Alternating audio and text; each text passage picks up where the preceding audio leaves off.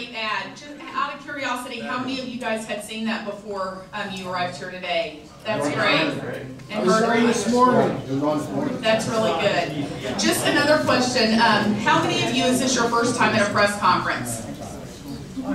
That's good. Thank you guys so much for coming. Um, we're really glad you're here. We couldn't do this without your support.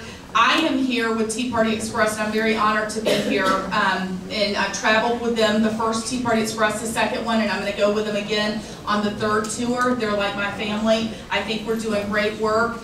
Um, the reason I'm so honored to be part of this tour is because I'm no different than any of you guys. I've never been politically active in my life. Um, I have no political aspirations. I'm just a mom who was tired of seeing what was going on in my country, and I decided to get off my couch and do something about it.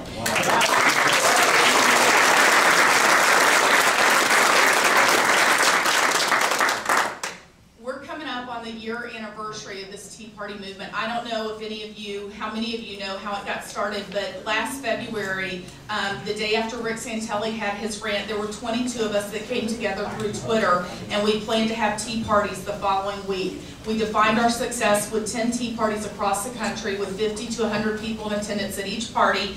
We all got busy that following Monday, and in four business days, we planned, we had 50 tea parties with approximately 30,000 people in four business days. Everybody wanted to know what was next, so the following Monday, we took Tax Day Tea Party Live. There were several organizations that were part of that, and we planned for six weeks for Tax Day Tea Parties. And on Tax Day last year, we had 850 plus tea parties with approximately 1.2 million people in attendance.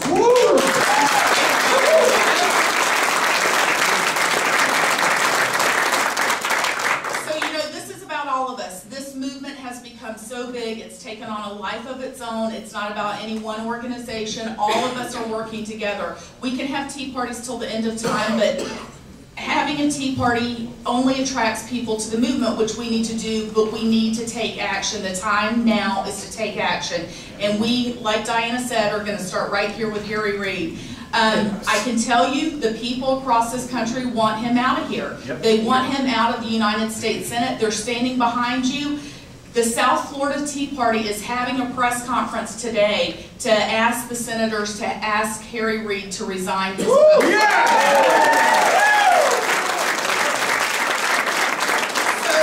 when they say it doesn't matter because it only affects Nevada, that's not true. When tea parties in Florida are having